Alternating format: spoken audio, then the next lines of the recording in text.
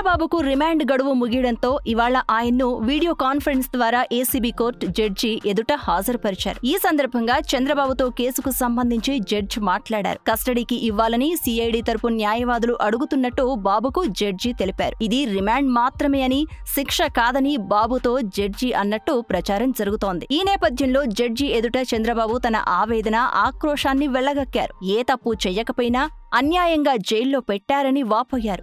తనది నలభై ఐదేళ్ళ సుదీర్ఘ రాజకీయ చరిత్ర అని చెప్పుకొచ్చారు.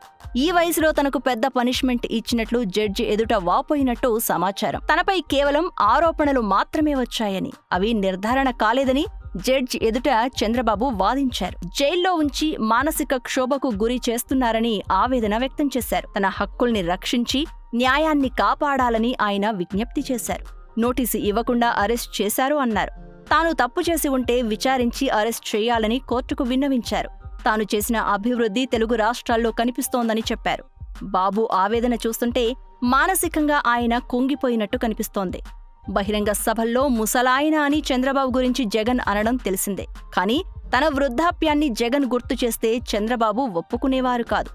శరీరానికే తప్ప మనసుకు వృద్ధాప్యం రాలేదని బాబు చమత్కరించేవారు. కానీ ఇప్పుడు జైలుకు వెళ్ళిన తర్వాత వయసు గురించి ప్రత్యేకంగా ఆయనే ప్రస్తావించి సానుభూతి పొందే ప్రయత్నాన్ని చూడొచ్చు.